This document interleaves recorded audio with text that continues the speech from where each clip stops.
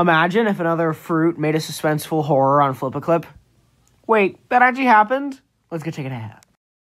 Hello there, everyone. I'm just walking down this nice old park, and oh my gosh, look! It's a monkey. Wow, that was a nice little monkey, wasn't it, folks? Huh? Ah, ah, ah, ah. Check out more like this in the description.